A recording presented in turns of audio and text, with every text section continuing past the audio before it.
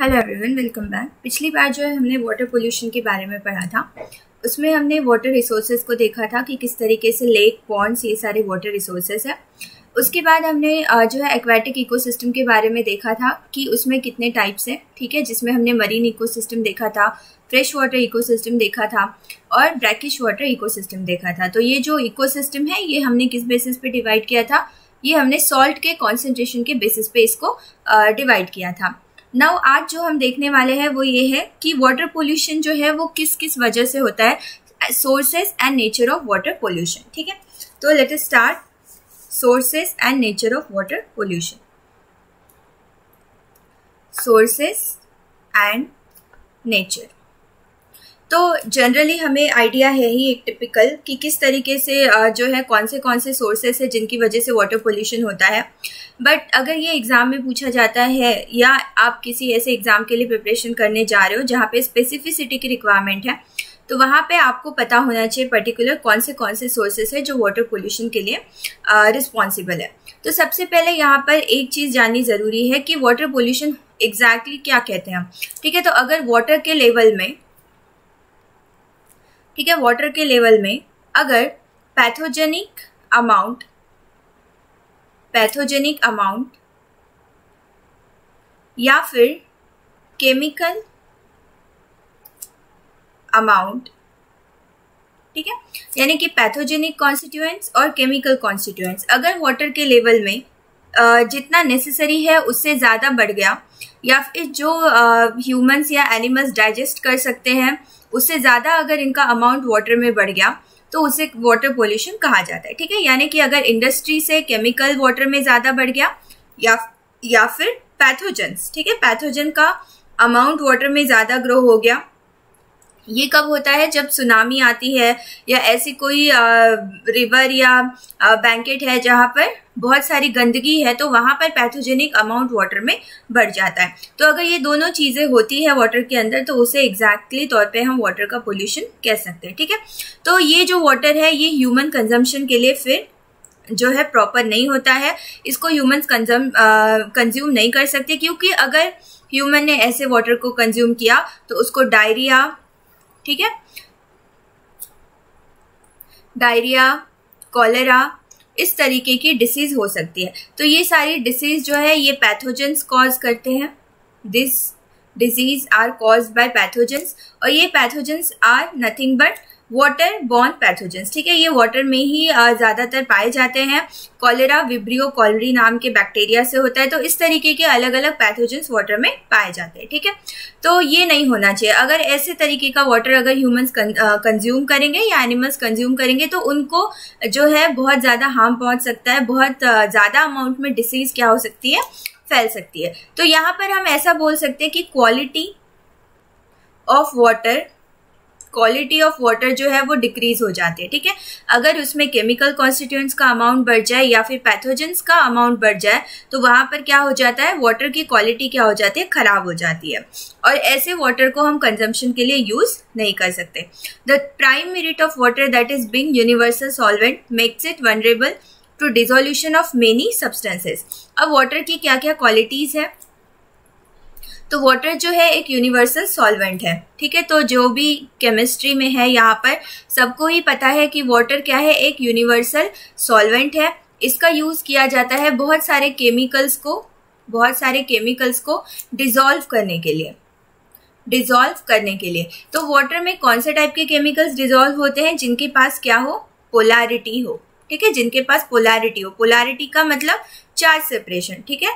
Positive और negative charge separation charge separation और you can say distribution तो यहाँ पर अगर इस तरीके का सिनेरियो है कहीं भी तो उसको हम क्या कह सकते हैं? उसको हम उस केस में जो है वाटर को सॉल्वेंट कह सकते हैं। क्यों? क्योंकि वो बहुत सारे सोल्यूट्स को, ऐसे सोल्यूट्स को जिनके पास पोलैरिटी है, उनको अपने अंदर वो क्या कर सकता है? डिजोल्व कर सकता है। तो यहाँ पे देखो ये यहाँ पर हम इसलिए डिस्कस कर रहे हैं क्योंकि जो भी वाटर पोल्यूशन कॉज करते हैं, वो क्या होते हैं? सोल्यूट होते हैं बेसिकली और वो पानी में जाके क्या होते हैं? डिजोल्व और डिजोल्व होने की वजह से पानी में वो जाने के बाद में क्या करते हैं? एक तरीके से पानी का जो कंपोजिशन है, वो चेंज कर देते हैं और उसमें ज़्यादा अमाउंट में केमिकल कॉन्स्टिट्यूएंट्स बढ़ जाते हैं, ठीक है? So some of the prominent sources of water pollutants are discuss ठीक है? तो अब हम ऐसे सोर्सेज देखने वाले हैं जो वाटर पोल्यूशन कॉज करते हैं। तो यहाँ पे हमने देख लिया कि water is a universal solvent उसमें किसी भी तरीके का सोल्यूट जो चार्ज डेवलप कर सकता हो, जिसके पास पोलैरिटी हो वो उसमें क्या हो सकता है? डिजोल्व हो सकता है। जैसे कि सॉल्ट हो गया ठीक है? शुगर हो गया। बहुत सारे ऐसे केमिकल्स जो इंडस्ट्री से रिलीज़ होते हैं वो भी वाटर में अच्छी तरीके से डिजोल्व हो जाते हैं। इसके कारण क्या हो सकते हैं? बहुत सारे स्किन डिसीज हो सकते हैं बहुत सारे आ, ऐसे डिसीज हो, हो सकते हैं जो वाटर पोल्यूशन की वजह से जनरेट हो। तो यहाँ पर सबसे पहला जो सोर्स है वाटर पोल्यूशन का आ, वो है sewage sewage is a biggest source of water pollution ठीक है? सिवेज जो है वो एक बिगेस्ट सोर्स है वाटर पोल्यूशन का। क्यों? क्योंकि waste water from domestic and industrial processes दोनों भी इसमें कंसिडर किया जाएँगे। तो पहला कौन सा? डोमेस्टिक जो भी डोमेस्टिक यूज़ होता है। ठीक है? उससे जो सिवेज निकलता है। ठीक है? और उसके बाद में जो इंडस्ट्रियल इंडस्ट्रियल यूज़ होता है ह्यूमंस के द्वारा उससे भी जो भी सिवेज निकलता है, ये दोनों ही सिवेज सबसे ज़्यादा पोल्यूशन कॉज कर सकते हैं। ये सॉइल पोल्यूशन के लिए भी रिस्पॉन्सिबल होते हैं और ये वाटर पोल्यूशन के लिए भी रिस्पॉन्सिबल है। तो यहाँ पर देखो जब भी आप बहुत सारे ऐसे वीडियोस या मेम्स देखते होंगे कहीं पर भी यूट्यूब पे या इंस्टाग्राम पे तो आप ऐसा देखते होंगे कि ह्यूमन को रिस्पॉन्सिबल कहा जाता है कि उसी की वजह से जितना भी अर्थ पे पोल्यूशन है या जितना भी इन्वायरमेंट में पोल्यूशन है, उसका रिस्पॉन्सिबल जो है वो ह्यूमन्स है, ठीक है? क्योंकि उन्होंने बहुत सारा कचरा फैलाया, ठीक है? उन्होंने बहुत सारे पोल्यूशन कॉज किए। तो उसमें ये वाला जो डोमेस्टिक पार्ट है, ये बहुत ज़्यादा है, क्योंकि आप बहुत ज़्यादा से ज़्यादा बहुत ज़्यादा से ज़्यादा प्लास्टिक यूज़ करते हो। आप बहुत ज़्यादा से ज़्यादा ऐसे केमिकल्स को यूज़ कर रहे हो कॉस्मेटिक्स में या ऐसे ऐसे चीज़ों को यूज़ कर रहे हो जैसे कि अभी डेली रूटीन पे जो है सिलिका जेल का यूज़ किया जाता है। ठीक है आप कोई भी जो भी सामान खरीदते हो उसमें सिलिका जेल डला होता है ताकि उसमें मॉइस्चर एब्जॉर्ब ना हो। लेकिन क्या कभी आपने सोचा है कि सिलिका जेल कितना ज़्यादा हार्मफुल हो, हो सकता है एनवायरमेंट के लिए? अगर वो वाटर के आसपास पहुँच जाए तो वो एक पॉइजन के तौर पे वहाँ पे काम कर सकता है, ठीक है? तो ऐसे बहुत सारे day to day use chemicals है अलग अलग कॉस्मेटिक्स में इस तरीके के केमिकल्स यूज़ हम तो उसको डिस्पोज कर देते हैं सिवेज के तौर पे, लेकिन ये सारा का सारा जो सिवेज है, जो डोमेस्टिक इस पर रेडी किया जाता है, वो क्या करता है? वाटर पोल्यूशन कॉज करता है। उसके बाद इंडस्ट्रियल इंडस्ट्रियल तो जो है, अब इकोनॉमी चलानी है, ठीक है? गवर्नमेंट को अपनी इकोनॉमी चलानी है तो इंडस्ट्रीज़ को चलाना ही पड़ेगा। अब इंडस्ट्री में आप देख लो सोप इंडस्ट्री हो गया, या फिर पेंट इंडस्ट्री हो गया डाई इंडस्ट्री हो गया। अब यहाँ पे बहुत सारे अमाउंट में केमिकल्स रिलीज़ होते हैं, ठीक है? जिसमें बहुत सारे ऐसे ऑर्गेनिक इनऑर्गेनिक केमिकल होते हैं, जो वाटर में वाटर बॉडीज में रिलीज़ किया जाता है, ठीक है? तो ये जो केमिकल्स है, ये वाटर को बहुत ज़्यादा पोल्यूट कर देता है, ठीक है? उसके कारण स्किन डिसीज हो सकता है, और भी अलग अलग टाइप के डिसीज हो सकते हैं। और सिवेज जो है, ये ऑल्सो रिस्पॉन्सिबल कि ये पैथोजेंस का अमाउंट भी इंक्रीज करे, ठीक है? तो अगर कोई सिवेज डिस्पोजल है और उसके बगल में ही कोई लेक या वाटर बॉडी है तो ऑब्वियसली वहाँ पे पैथोजन का अमाउंट क्या होगा? ज़्यादा होगा। तो ये सिवेज जो है, ये बहुत बड़ा रिस्पॉन्सिबिलिटी है। आपका भी, मेरा भी कि हम किस तरीके से इसको कम से कम तैयार करें, कम से कम जनरेट करें, जिसके कारण क्या हो? जिसके कारण वाटर पोल्यूशन कम हो। उसके बाद में एग्रो इंडस्ट्री अब यहाँ पे जो दूसरा चैलेंज है, जो वाटर पोल्यूशन कॉज कर रहा है, वो है एग्रो इंडस्ट्री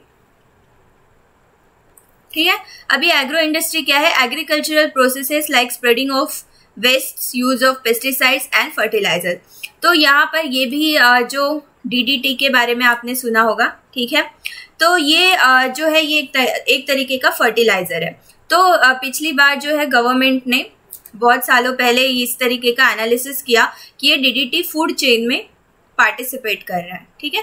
मतलब कि ये पेस्टिसाइड जब हम प्लांट्स पे आ, मतलब ओब्वियसली जो एग्रीकल्चरल प्लांट्स है उनके ऊपर जब हम स्प्रेड कर रहे हैं तो उनको क्या खा रहे हैं? बर्ड्स खा रहे हैं और उन बर्ड्स को बैक्टीरिया खा रहे हैं वो ह्यूमंस में भी फैल रहे हैं ठीक है? क्योंकि उन प्लांट्स को हम खा रहे हैं। तो ये डीडीटी क्या है? पॉइजनस है। ठीक है, ये क्या है पॉइजनस है। तो इस तरीके से ये फ़ूड चेन में पार्टिसिपेट कर रहा है। तो अब सोचने वाली बात ये है कि अगर एग्रो इंडस्ट्री में यूज़ हुए पेस्टिसाइड्स और यूज़ हुए फर्टिलाइजर्स फ़ूड चेन में पार्टिसिपेट करने लगेंगे, ठीक है? यानी कि ह्यूमंस के अंदर और एनिमल्स के अंदर जाने लगेंगे। तो इससे क्या होगा? एक तरीके से पोल्यूशन जनरेट होगा।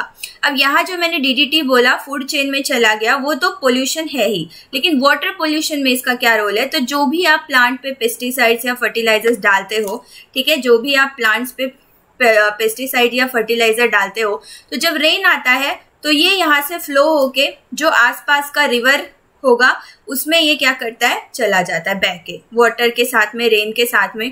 तो जब ये बह के चला जाता है तो पानी में स्टोर हो जाता है। और यहाँ पर ये केमिकल का अमाउंट क्या करता है? बढ़ाता है। तो ये पेस्टिसाइड्स हार्मफुल होते हैं, ठीक है? बहुत ज़्यादा हार्मफुल होते हैं। तो अगर ये हमारे अंदर चले गए तो ये भी एक तरीके का क्या है? वाटर पोल्यूशन है। तो इसको कैसे, किस तरीके से टैकल करें? इस एरिया में किस तरीके से काम करें? कैसे रिसर्च करें? ये भी हमें क्या करना है? सोचना है। उसके बाद ऑयल इंडस्ट्री ठीक है? जो थर्ड एरिया है जो वाटर पोल्यूशन के लिए रिस्पॉन्सिबल है, वो है ऑयल इंडस्ट्री ठीक है? अब ऑयल इंडस्ट्री में huge amount of oil is release into the sea disrupting aquatic life oil spill reduces oxygen supplies to aquatic ecosystem. Sometimes waste oil is deliberately disposed in water. अब इसका क्या मतलब है? इसका ये मतलब है कि जैसे ये सी एरिया हो गया, ठीक है? इसको सी सरफेस कंसिडर करो। अब कोई भी जो शिप है यहाँ पर ठीक है? अब ये शिप क्या करती है? तो जब ये अपना सफ़र तय कर रही होती है तो ये बहुत सारे अमाउंट में ऑयल यहाँ पर सी के सरफेस पे रिलीज़ कर देती है। अब सी के अंदर क्या होता है? मराइन मरीन इकोसिस्टम ठीक है? This marine ecosystem is nothing but part of water body ठीक है? और एक्वेटिक इकोसिस्टम तो यहाँ पे ये जो मरीन इकोसिस्टम है, ये क्या हो जाता है? डिस्टर्ब अब कैसे डिस्टर्ब हो जाता है? कि सन का लाइट इस ऑयल को पास नहीं कर पाएगा ठीक है?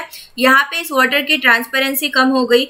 ऑयल से ये लाइट पास नहीं हो पाएगा। तो जो अंदर में एनिमल्स है जो अंदर में एनिमल्स है वहाँ तक इस सन का लाइट नहीं पहुँच पाएगा ठीक है?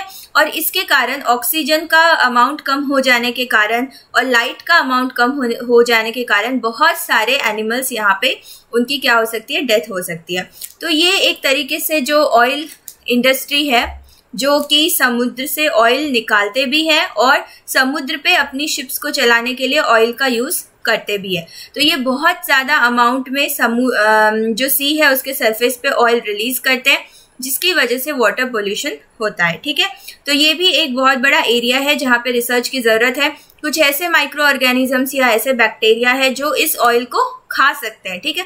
तो अगर उनको अच्छी तरीके से म्यूटेट किया जाए ठीक है, उनको जेनेटिकली मॉडिफाई किया जाए और फिर देखा जाए कि वो ज़्यादा अमाउंट में इस ऑयल को यूटिलाइज करे तो हो सकता है कि हमारा ये वाला प्रॉब्लम सॉल्व हो। लेकिन अभी उसके लिए बहुत ज़्यादा टाइम है तो ये भी एक जो है वाटर पोल्यूशन कॉज करने का रीज़न है oil industry now fourth is radioactive substances ये इतनी ज़्यादा अमाउंट में तो अभी तक वाटर पोल्यूशन कॉज करने का रीज़न नहीं बना है, लेकिन ये भी एक वाटर पोल्यूशन कॉज करने का रीज़न है। तो रेडियो एक्टिव सब्सटेंसेस कौन से होते हैं? तो ऐसे सब्सटेंसेस ठीक है, जिनके न्यूक्लियस में, जिनके न्यूक्लियस में अनस्टेबिलिटी होती है। अनस्टेबिलिटी होती है। ठीक है? अनस्टेबिलिटी का होने का मतलब ये होता है कि उसके न्यूक्लियस में बहुत ज़्यादा तौर पे न्यूट्रॉन्स और प्रोटॉन्स के बीच में जो है बहुत ज़्यादा क्या होता है? अनस्टेबिलिटी होती है। वो उनके जो नंबर होते हैं वो प्रॉपर नहीं होते हैं, ठीक है? तो इसके कारण क्या होता है कि यहाँ पे रिएक्शन होता है इनके खुद के अंदर और यहाँ से अल्फ़ा बीटा और गैमा इस तरीके की रेडिएशंस बाहर आती है, ठीक है? अल्फ़ा बीटा और गैमा इस तरीके की रेडिएशंस बाहर आती है। तो ये जो रेडिएशंस है, ये रेडिएशन बहुत ज़्यादा हार्मफुल है, ठीक है? अगर रेडियो एक्टिव सब्सटेंसेस को हमने वाटर बॉडी के आसपास रख दिया तो वो क्या करेंगे? वाटर बॉडी को पेनिट्रेट करेंगे वाटर बॉडी में घुस जाएँगे और फिर ऐसा जो वाटर बॉडी है, वो हार्मफुल होगा। अगर उसमें कोई गया तो उसको स्किन कैंसर टाइप की डिसीज हो सकती है, ठीक है? So these are use in various medical industrial और न्यूक्लियर न्यूक्लियर डिपार्टमेंट, ठीक है? तो बहुत सारे इंडस्ट्रियल कॉस्मेटिक्स और न्यूक्लियर डिपार्टमेंट में इनका यूज़ किया जाता है और यूज़ करने के बाद इसको प्रॉपर डिस्पोज नहीं किया जाता है। वाटर बॉडी में जाके इसको क्या कर दिया जाता है? डिस्पोज तो अगर वाटर बॉडी में ऐसे रेडियो एक्टिव सब्सटेंसेस को हम क्या करेंगे? डिजोल्व करा देंगे या फिर डिस्पोज करेंगे तो वाटर बॉडी में ये अल्फ़ा बीटा और गैमा रेडिएशन रिलीज़ होगा, जो कि ह्यूमंस के लिए और किसी भी एनिमल्स के लिए अच्छा नहीं है। ऐसे में बहुत सारे टाइप के डिसीज वहाँ पर हो सकते हैं और वाटर जो पोल्यूट हो गया वो तो हो गया, क्योंकि अब वो किसी एनिमल के काम का रहा नहीं, ठीक है? उसके बाद जो लास्ट फिफ्थ नंबर का एरिया है जो वाटर पोल्यूशन कॉज करता है वो है इंडस्ट्रियल इफ्लुएंट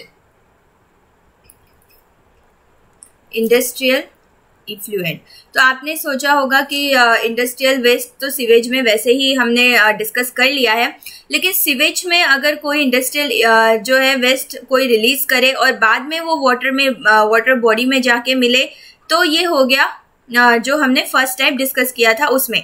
बट अगर डायरेक्टली कोई इंडस्ट्रियल इफ्लुएंट यानी कि इंडस्ट्रियल जो लिक्विड वेस्ट है, उसको डायरेक्टली अगर कोई वाटर बॉडी में रिलीज़ करवाता है, या फिर वाटर बॉडी के आसपास ही इंडस्ट्री वाटर बॉडी के आसपास ही कोई अगर इंडस्ट्री अपनी बनाता है, और ऐसे केस में डायरेक्टली वो वाटर बॉडी में अपना इंडस्ट्रियल इफ्लुएंट रिलीज़ करवाता है तो वो भी एक वाटर पोल्यूशन कॉज करने का क्या है? बिगेस्ट रीजन है, इसके कारण भी बहुत ज़्यादा वाटर पोल्यूशन कॉज हो सकता है। So various industries like textile leather petrochemical fertiliser dispose the waste effluent into the water reservoirs तो ऐसे बहुत सारे इंडस्ट्रीज़ यहाँ पे नाम लिए गए हैं। फॉर एग्ज़ाम्पल टेक्सटाइल इंडस्ट्री ठीक है, यानी कपड़ों की इंडस्ट्री लेदर ठीक है लेदर फॉर्मेशन करने में भी केमिकल्स का बहुत ज़्यादा यूज़ होता है। पेट्रोकेमिकल इंडस्ट्री जहाँ पे पेट्रोल डीजल इन सब का क्या हो उनको बनाया जाता हो रिएक्शंस करवा के। उसके बाद फर्टिलाइजर्स हमने देखा फर्टिलाइजर्स कितना हार्मफुल है। तो ये सारे के सारे इंडस्ट्रीज़ वाटर पोल्यूशन कॉज करने के लिए क्या है रीजन है। तो जितने भी एनवायरमेंटलिस्ट है जितने भी सोशल सोशल जो भी करते हैं तो सोशल सर्विस जो करते हैं तो वो लोग जो है इस तरीके के पोल्यूशन पे नज़र रखते हैं। और अगर ऐसा कुछ उनको दिखता है आसपास तो वो क्या करते हैं उसके लिए आ, या तो वो लोग जो भी रस्ते पे धरना देते हैं और या तो फिर क्या करते हैं कि एक प्रॉपर ऑफिशियल मेथड से जाके उसके खिलाफ कंप्लेन करते हैं। तो सोशल एक्टिविस्ट बोलते हैं उनको। तो इस तरीके से जो है, इन सारे पोल्यूशन पे ध्यान रखा जाता है। बट ये हमारी भी ज़िम्मेदारी बनती है, आपकी भी ज़िम्मेदारी बनती है कि इस तरीके के पोल्यूशन को ना करें और जो है, ऐसे तरी, इस तरीके से अपने ही बनाए हुए अपने ही बनाए हुए चीज़ों की वजह से नेचर को जो है डिस्ट्रैक्ट ना करें। तो ये हो गए सोर्सेज जो वाटर पोल्यूशन कॉज करते हैं। ना अब हम टेक्निक्स डिस्कस करेंगे जिससे कि हम वाटर पोल्यूशन को मेजर कर सके। So there are some techniques जो वाटर पोल्यूशन को मेज़रमेंट कर सकते हैं, ठीक है? For measuring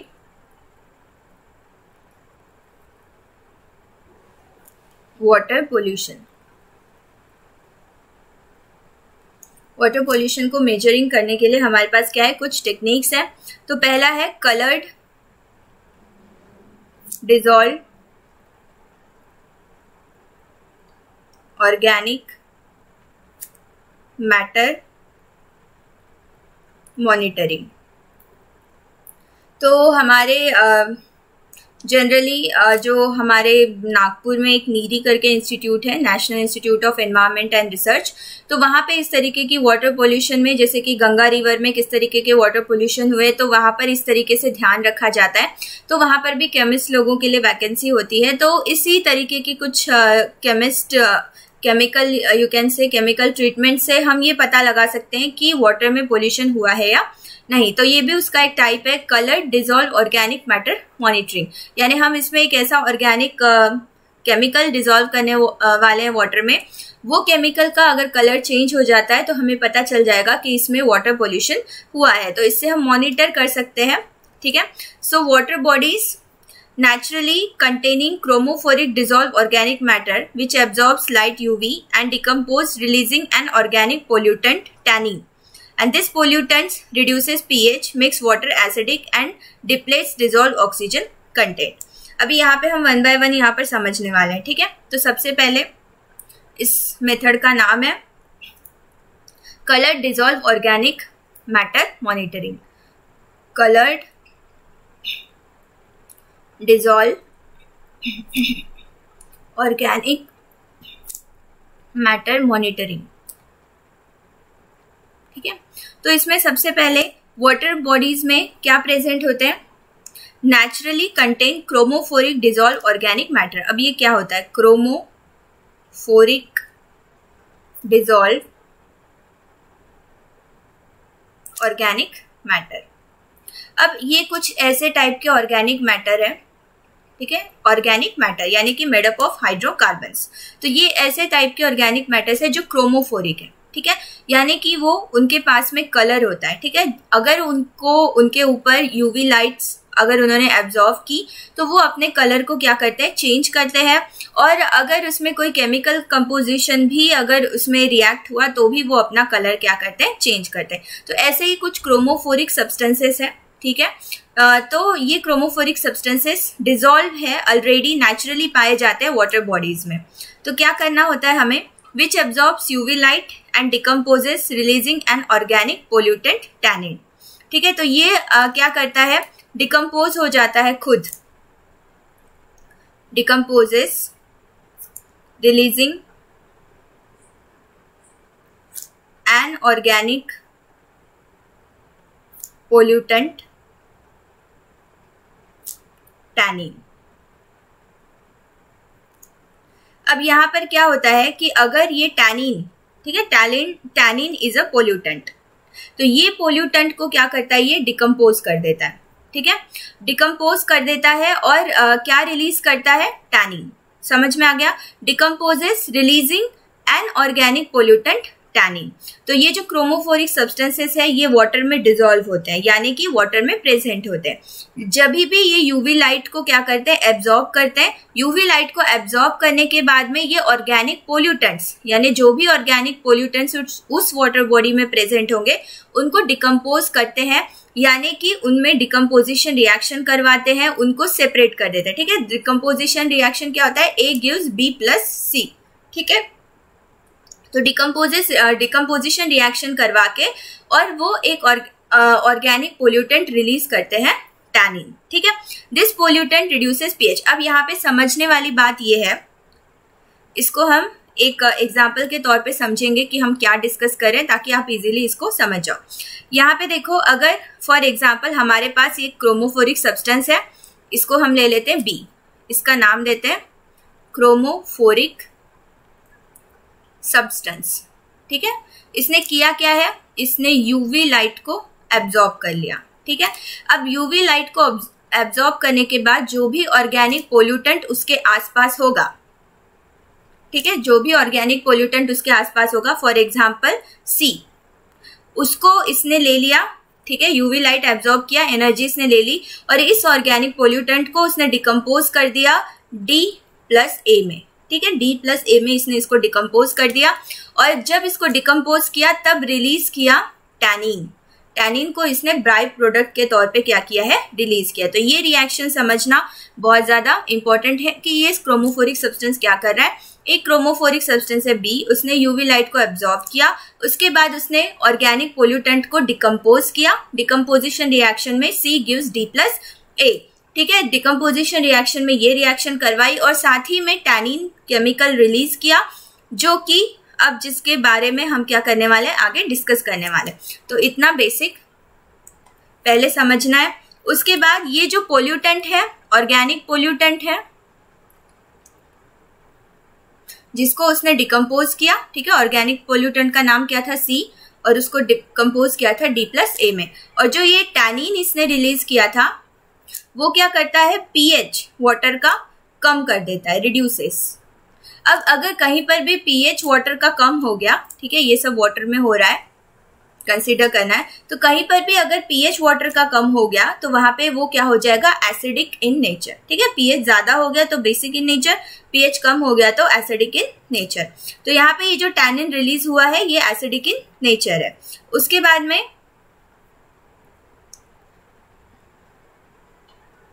तो ये जो यहाँ पर टैनिन है ये क्या है? एसिडिक इन नेचर है। उसके बाद में क्या किया हमने कि आ, ये जो आ, और ये क्या करता है? डिजोल्व ऑक्सीजन को भी डिप्लेट करता है। इट डिप्लेट्स डिजोल्व ऑक्सीजन एक तो पीएच कम कर देता है एसिडिक कर देता है और डिप्लेट्स डिजोल्व ऑक्सीजन ठीक है?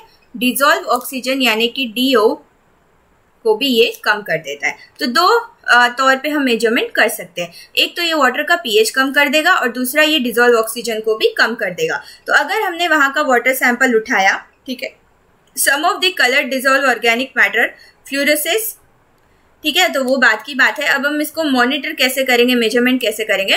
तो हम ऐसे वाटर का सैंपल उठाएँगे, ठीक है। सैंपल में हम पीएच का टेस्ट करेंगे और डिजोल्व ऑक्सीजन का टेस्ट करेंगे।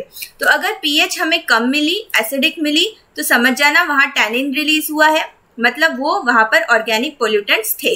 और अगर वहाँ डिजोल्व ऑक्सीजन भी कम हुआ है तो एक लिमिट होता है उसका, पार्ट्स पर मिलियन में, वो भी अगर कम हुआ है तो वहाँ पर भी ऑर्गेनिक पोल्यूटेंट्स थे, ठीक है? तो इस तरीके से इस naturally occurring chromophoric organic matter के थ्रू हम वाटर पे नज़र रख सकते हैं। अब ये जो है कुछ क्रोमोफोर्स ये क्या करते हैं? फ्लोरेसेंट भी करते हैं मतलब ये चमकते भी है।